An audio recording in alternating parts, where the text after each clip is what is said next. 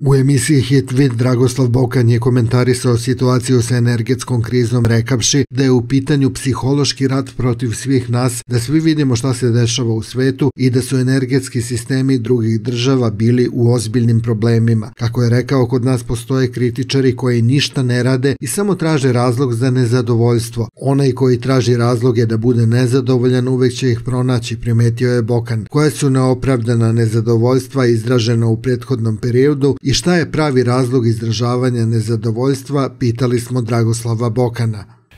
Pa mi smo danas uhvaćeni u jedan psihološki vrtlog. Recimo na primjeru ove intervencije u Ukrajini, to možemo najlakše i najbolje da vidimo.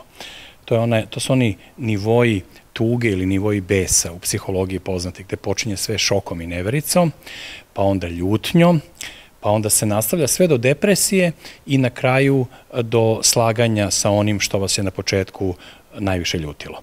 Tako da taj psihološki nivo je mnogo uticajniji na savremenog čoveka, posebno čoveka izloženog medijima, nego onaj ideološki, geopolitički ili svaki drugi. I tu često analitičari promašaju temu, ne shvatajući da je čovek pre svega psihološko biće, ono reaguje na jake agense, kao što su Crna hronika, ili kao što je neprestana priča protiv nekoga, ili kao što je gledanje u realnost kao skup nekih neprijatnih iznenađenja koje nas čekaju na svakoj sledećoj krvini.